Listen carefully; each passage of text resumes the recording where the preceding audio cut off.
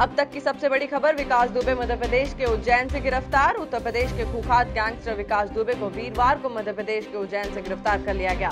मध्य प्रदेश के गृह मंत्री डॉक्टर नरोत्तम मिश्रा ने भी विकास दुबे की गिरफ्तारी की पुष्टि की है।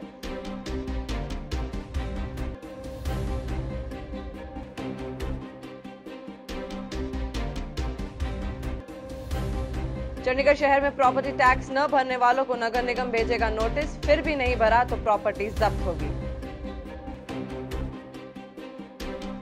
चंडीगढ़ अंबाला रोड पर ट्रैफ़िक सिग्नल बंद होने की वजह से सुबह आठ बजे से लगा तीन किलोमीटर लंबा जाम। हिमाचल में सिंचाई नेटवर्क को मज़बूत करने के लिए जारी होने वाले बजट को हड़पने का मामला सामने आया है। 10 लाख रुपए से बनने वाले कुहूल और सिंचाई टैंक के निर्माण में गोलमाल कर फर्जी बिलों की मदद से सरकारी पैसा हड़प लिया गया।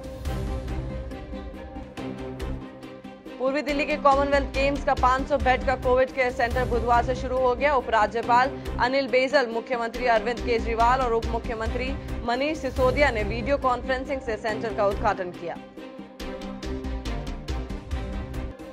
9 जनवरी घरेलू शेयर बाज़ार में तेज़ी का डॉलर में कमज़ोरी के चलते गुरुवार को शुरुआती कारोबार में अमरीकी डॉलर के मुकाबले रुपए 11 पैसे की मजबूती के साथ चौहत्तर दशमलव नौ एक का स्तर पर पहुँच गया है। अंबाला में कोरोना का ग्राफ तेज़ी से बढ़ता जा रहा है। कल रात भी अंबाला में तेरह नए कोरोना के मामले सामने आए और महिला की कोरोना की वजह से मौत हो गई।